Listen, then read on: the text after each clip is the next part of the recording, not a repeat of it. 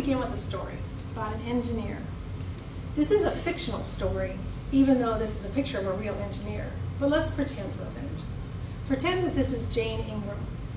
She's an electrical engineer. She completed her bachelor, uh, bachelor's degree in 1995 and then a master's degree in 1996 in electrical engineering at Tufts University of Massachusetts. She's now working for a large firm in the Boston area that develops and manufactures control devices of various types, and she's directly involved in new product development. Personally, Jane is married and has two daughters, Jessica 4 and Savannah 7.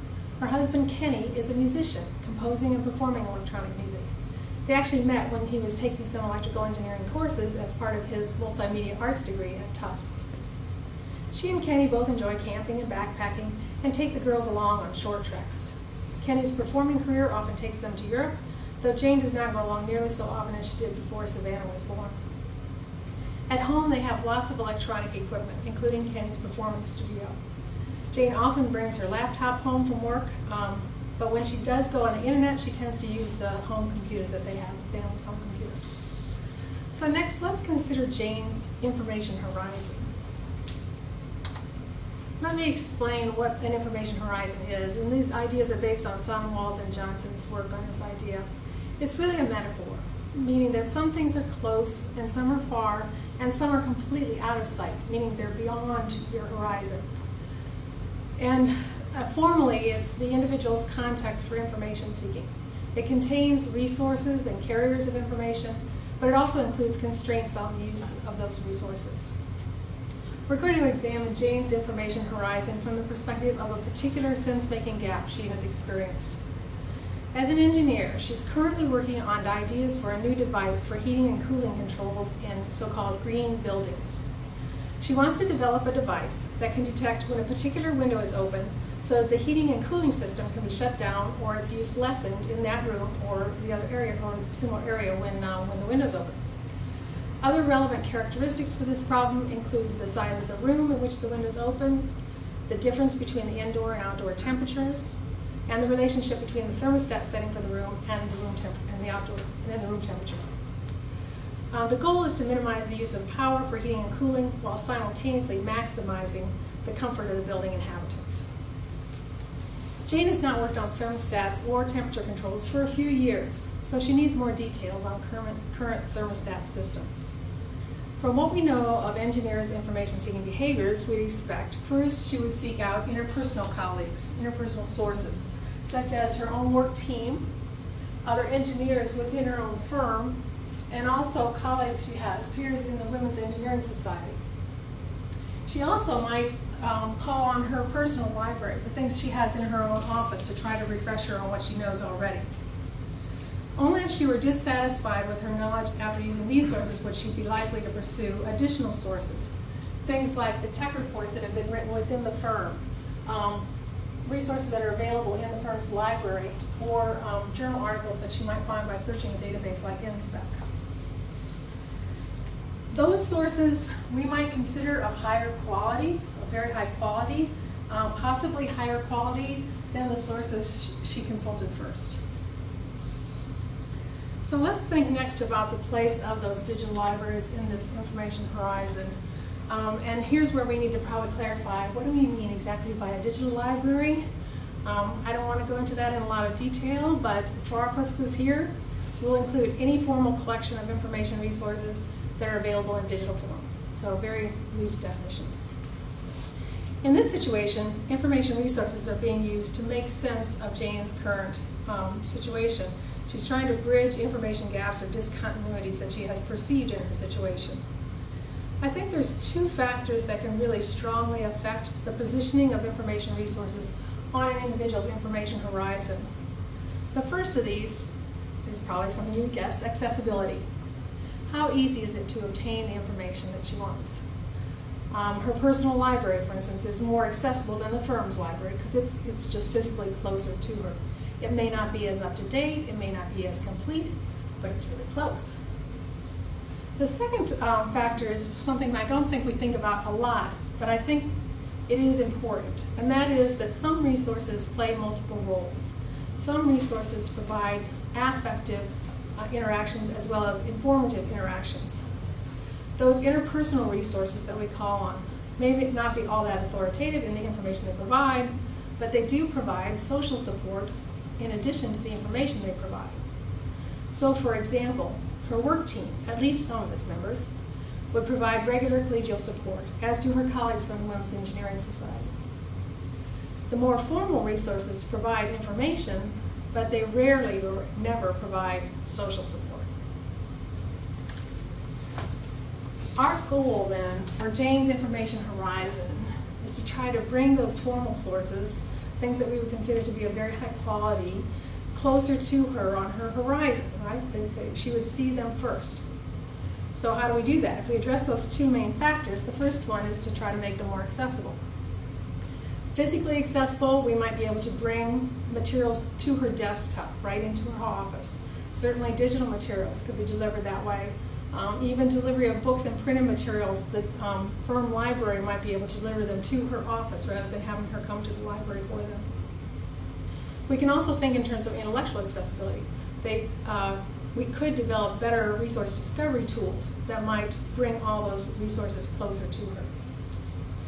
The second thing to think about, I think, is trying to add some type of social support dimension to this interaction.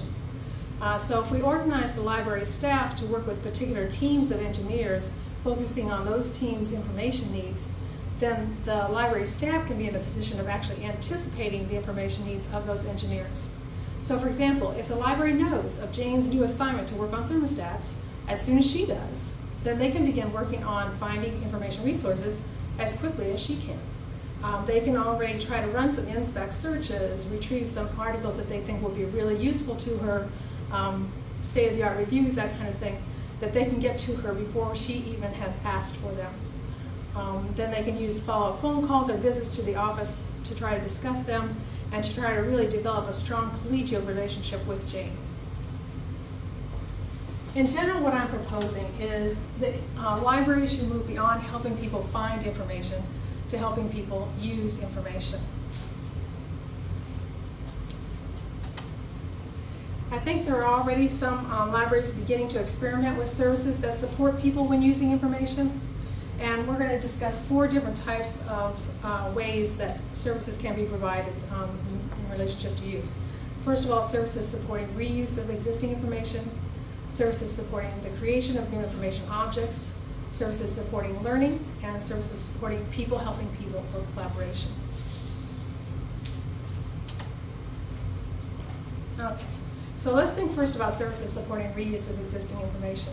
Um, there are a couple of different ways in which information might be reused. Uh, the first of these is just incorporating pieces of it in some other creation. So you have a chunk of something and you're going to just include that chunk in something else. So for example, a quotation would be included in an article um, a diagram might be included in a class lecture.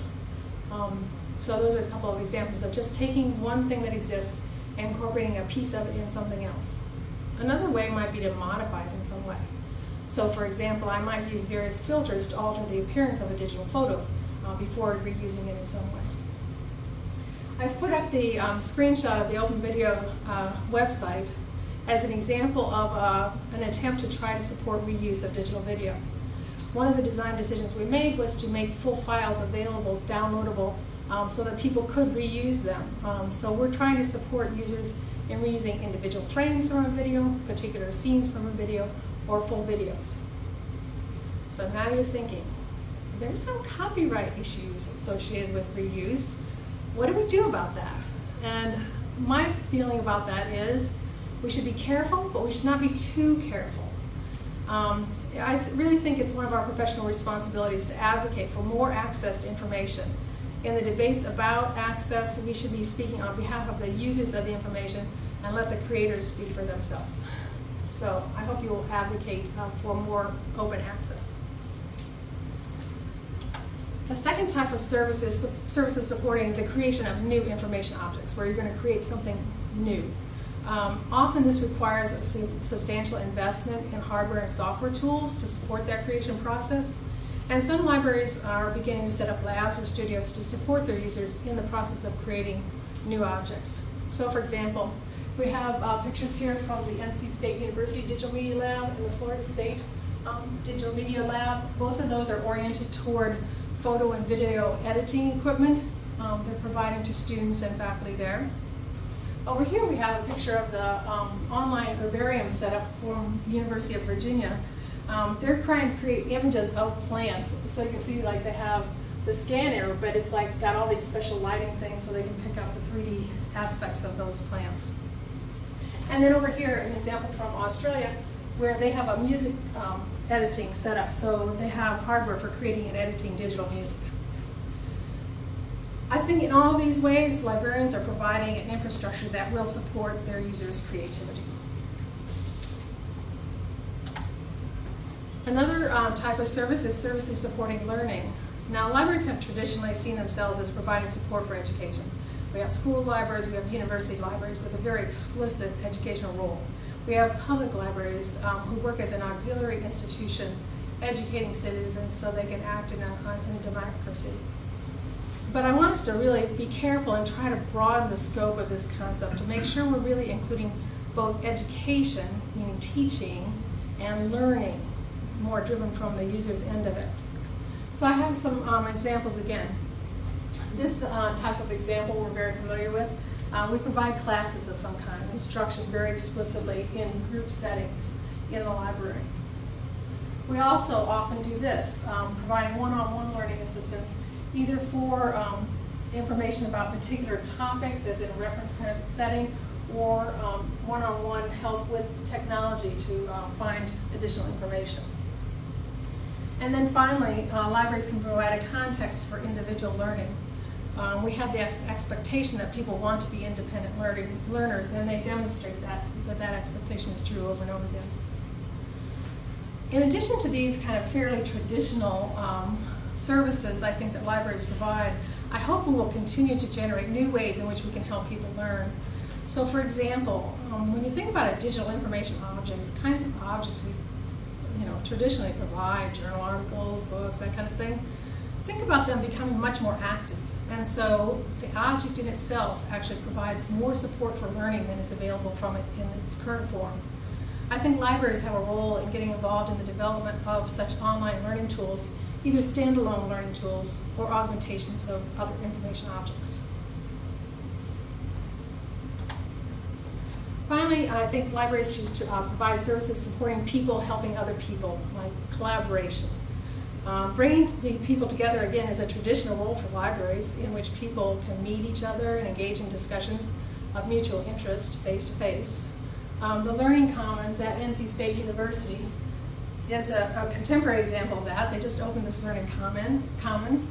It is a space that belongs to the users. Um, it is a space that they can rearrange to fit their needs.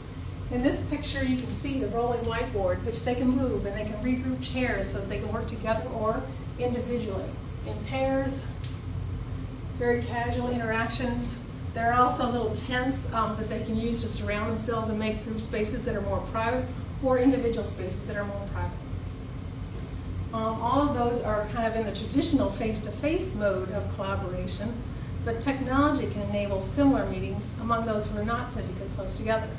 So these other two examples are using technology in that way. We have a Collaboration Center here at the Health Sciences Library at UNC. It has this big uh, video wall, uh, video conferencing capabilities. All of those will support researchers in their collaborations. These other pictures of, are of the Access Grid, um, funded by the National Center for E-Social Science in the UK. It's a national program designed for social science researchers to be able to share computing facilities and data. It's not a library initiative, but it certainly could be.